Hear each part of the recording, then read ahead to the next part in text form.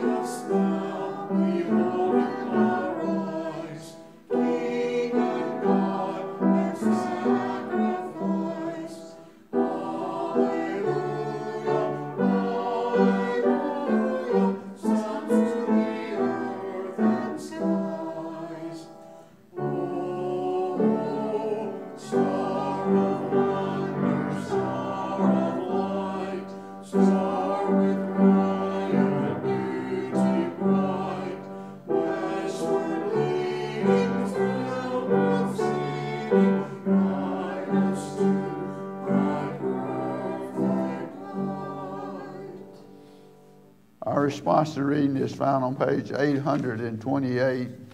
We're reading today from Psalm 105. Oh, give thanks to the Lord, call on God's name, make known God's deed among the people. Sing to the Lord, sing praises, tell of all God's wonderful works. Glory in God's holy name. Let the hearts of those who seek the Lord rejoice.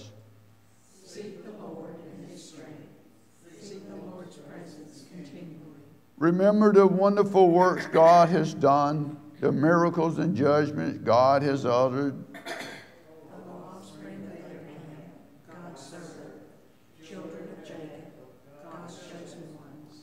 The Lord is our God, whose judgments are in all the earth. The Lord is mindful of his everlasting covenant, a word commanded for a thousand generations. The covenant made with Abraham, his promise sworn to Isaac and confirmed to Jacob as a statute, to Israel as an everlasting covenant, saying,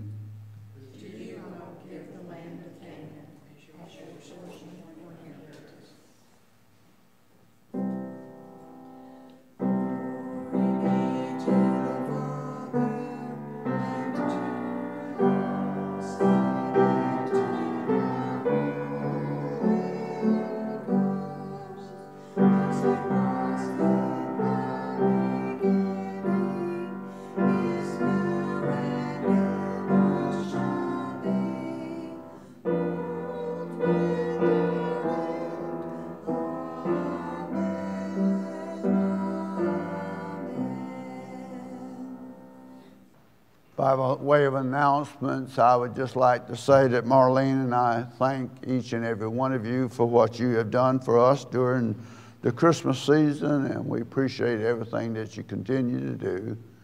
I appreciate you reaching out to the memorial home and making a difference in the lives of those people there. I appreciate you reaching out to the food bank and making a difference in those that are in need of food during these days. I appreciate all that you continue to do. What a privilege it is to be able to serve you and to continue to be with you as a family as we continue to reach out to make that difference as God's wonderful people, as we reach out to a community that's in need. Let us pray. Heavenly Father, we thank you for this day and for this opportunity to serve you. Thank you for the greatest gift of all. And Heavenly Father, we're so thankful that we can return unto you of that which you have given unto us. Heavenly Father, bless each and every gift that's been given this day. And Heavenly Father, may those gifts be used for the uplifting of your kingdom.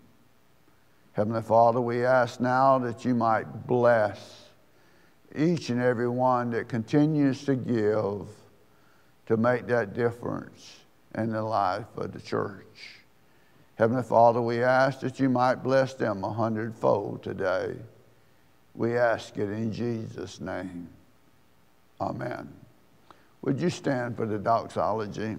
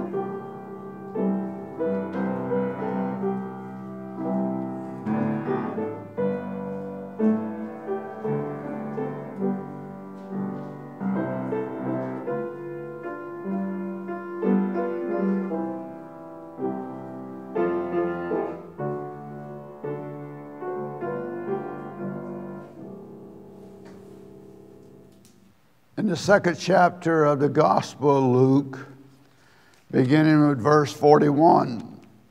Now, Jesus' parents went to Jerusalem every year at the feast of the Passover.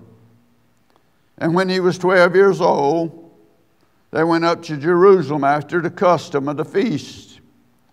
And when they had fulfilled the days as they returned, the child Jesus tarried behind in Jerusalem, and Joseph and his mother knew not of it. But they supposed him to have been in the company when a day's journey, and they sought him among their kinfolks and their acquaintances. And when they found him not, they turned back again to Jerusalem, seeking him. And it came to pass that after three days they found him in the temple, sitting in the midst of the doctors, both hearing them and asking them questions. And all that heard him was astonished at his understanding and answers. And when they saw him, they were amazed.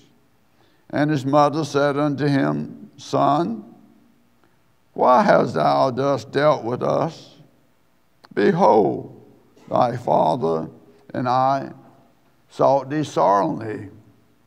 And he said unto them, How is it that you follow me?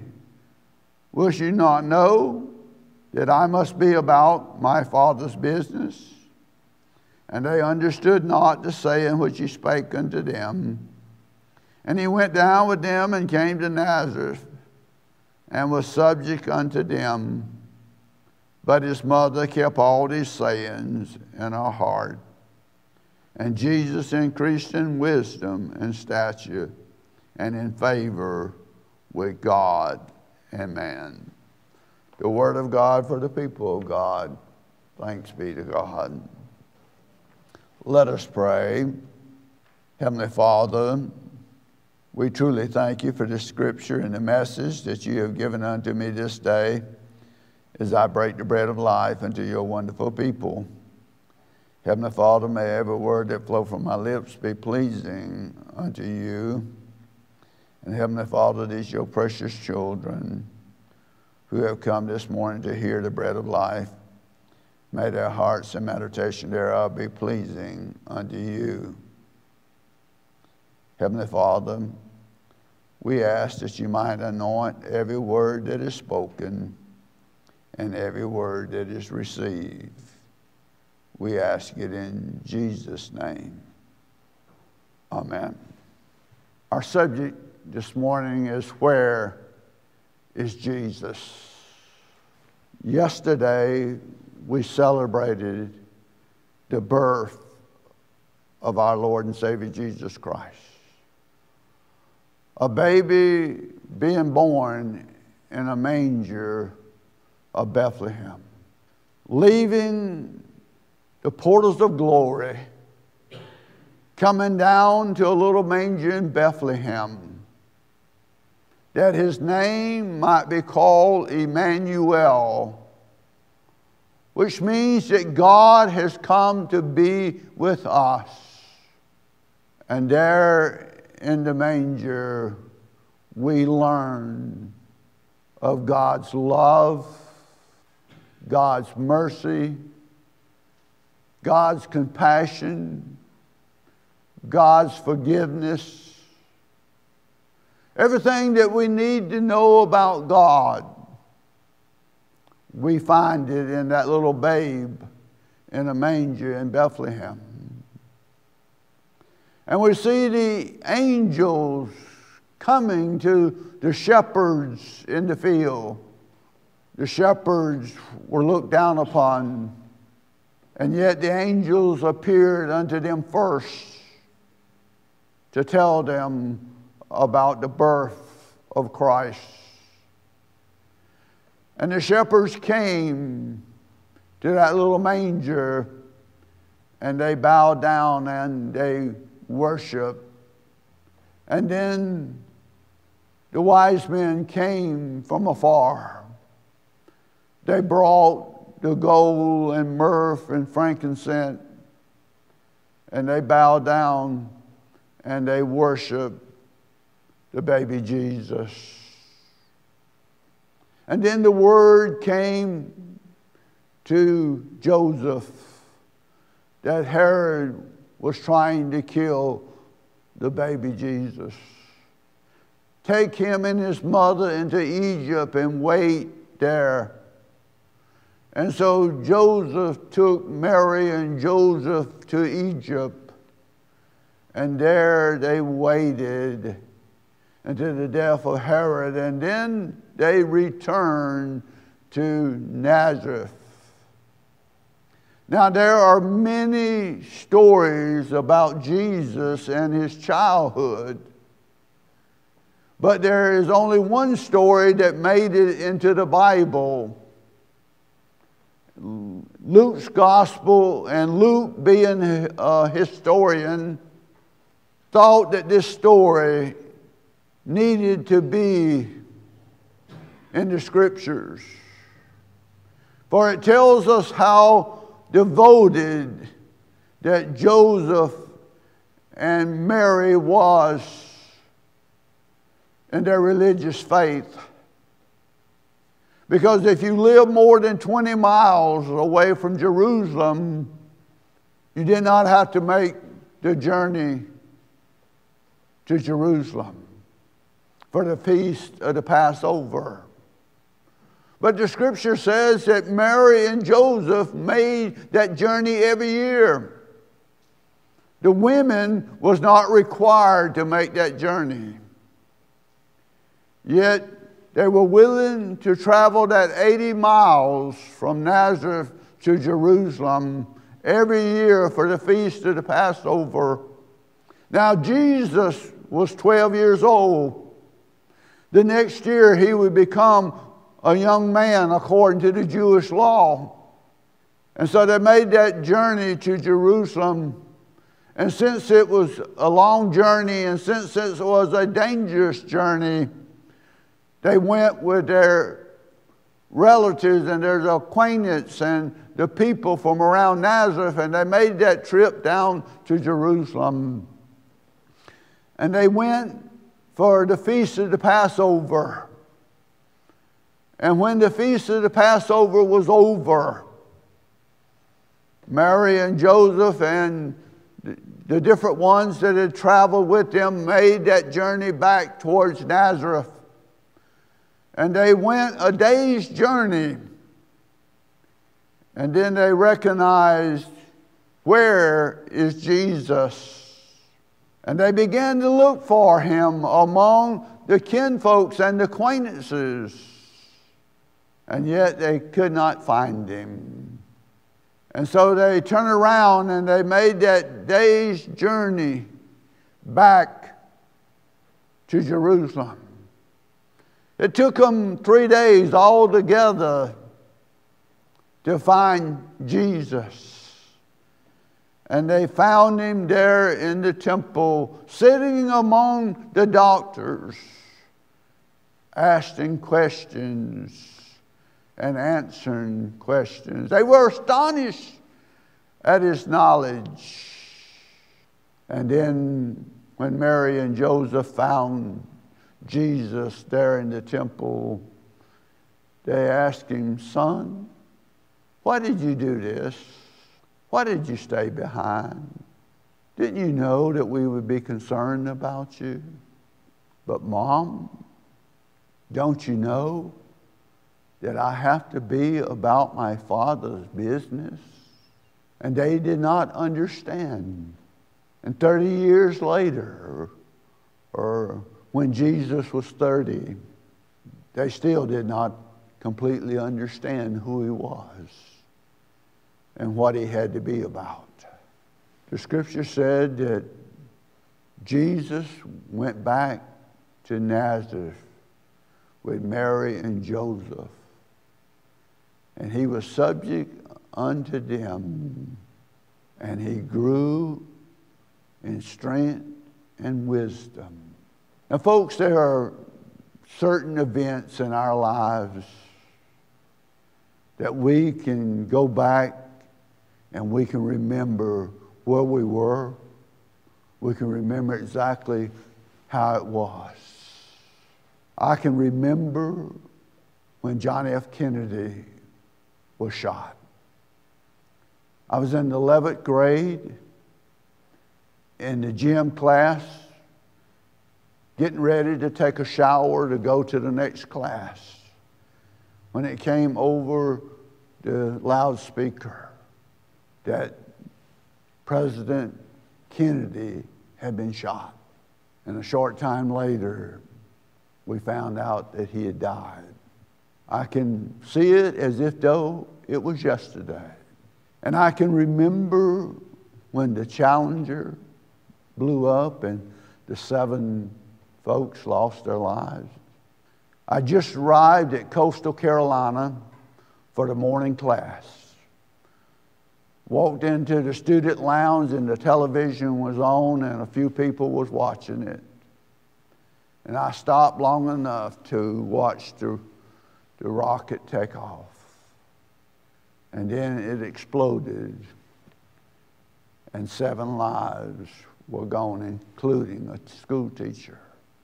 I can remember it and see it just as it was yesterday.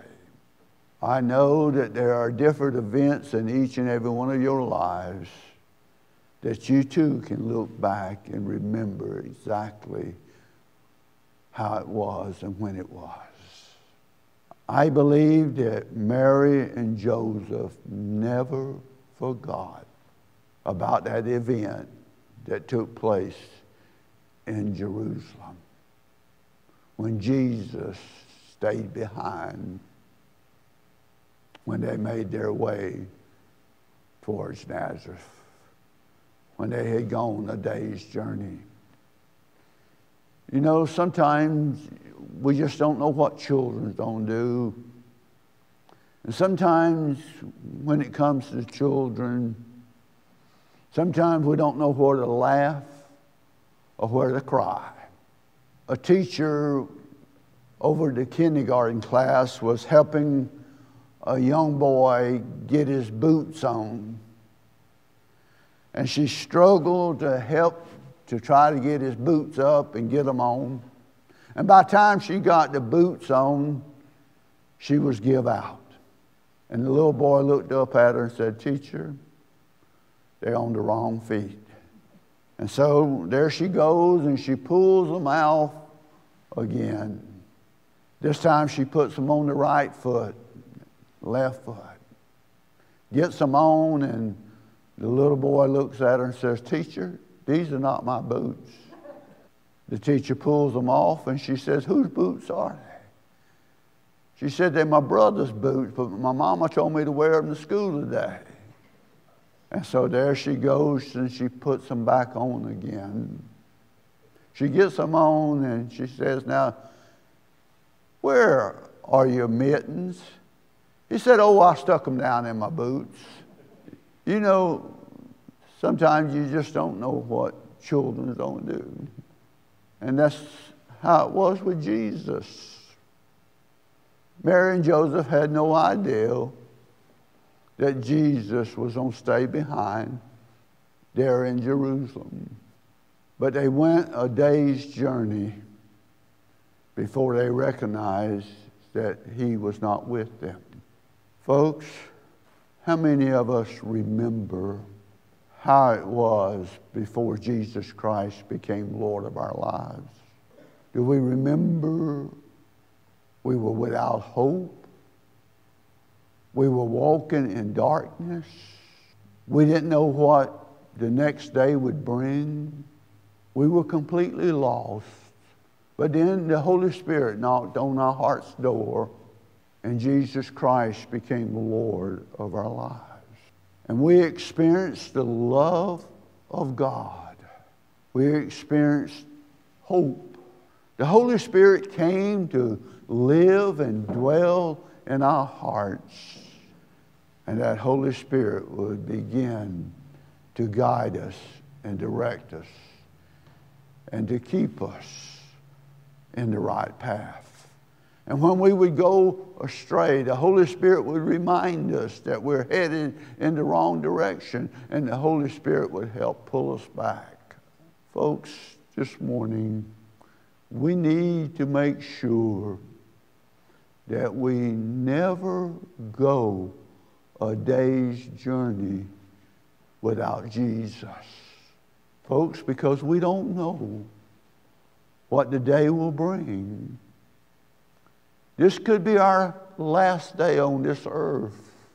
And so it's so important for us this morning to never go a day's journey without Jesus living in our hearts and the Holy Spirit guiding us in that way. So that we can know that we will spend all of eternity with Him. And the scripture said that they went that day's journey without Him, and then they supposed Him to be among the kinfolks and the relatives and acquaintances. Folks, when it comes to our spouse, we pretty well know how one another feels about the Lord. But what about our children when they leave home and they go out on their own? Do we suppose that Jesus is with them? What about those that we go to school with? Do we suppose that Jesus lives in their hearts? What about our relatives and all our kinfolks? Do we just assume that Jesus lives within their hearts? Folks, it's so such serious business when it comes to Jesus Christ living and dwelling in our hearts and making that difference in our lives. That, folks, we can't just assume that Jesus Christ is among our children or our acquaintances or those we work with or those we go to school with. It's so important that we share God's love, the hope that God gives us. In the midst of the darkness, there is that light. There is the joy of Christ. And there's that peace that pa- passes all understanding. It's so important for us to share with those that we love so that if the trump was to sound, they would not be left out. This morning, don't assume that those you love know Jesus. They said they went three days, one day back, and two days hunting Jesus. And they found him in the temple. This morning, where two or three are gathered in his name, Jesus will be with us. And any time that we call out to Jesus, he will be with us. The Holy Spirit will always speak what God wants us to know. And so it's important for us to allow that Holy Spirit to live and dwell in our hearts so that we can have that open path to God. The scripture said that Jesus was obedient and he went back to Nazareth with Mary and Joseph. Folks, this morning it's important for us to be obedient to God, to listen to the Holy Spirit, for the Holy Spirit will only tell us what God wants us to know. And so it's important for us this morning to listen, to pray, so that we might do God's will that we might make a difference in the world around about us. And Jesus grew in wisdom and strength.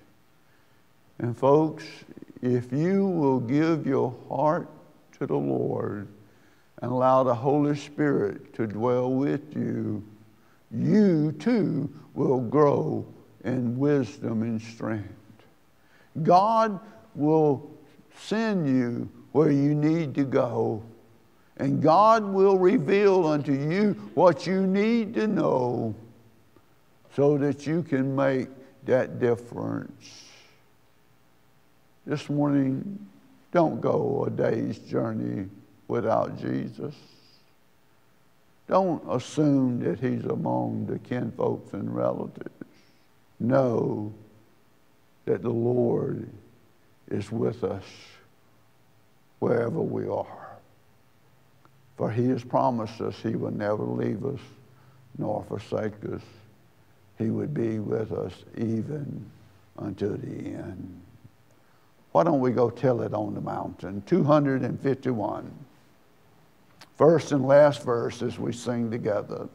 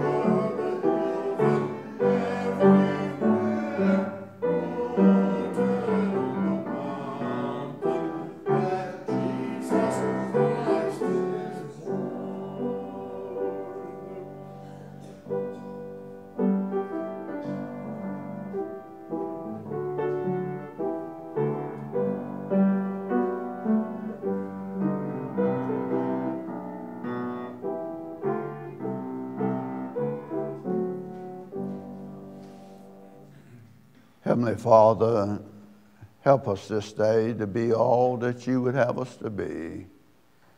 Heavenly Father, may your Spirit live in each and every one of our hearts. May your Spirit guide us and direct us in all those ways that you would have us to go as we reach out to make that difference to a world that is hurting, to a world that is in darkness. Heavenly Father, help us to be that light in the midst of that darkness. Heavenly Father, we ask it all in the name of the Father, the Son, and the Holy Spirit. Amen.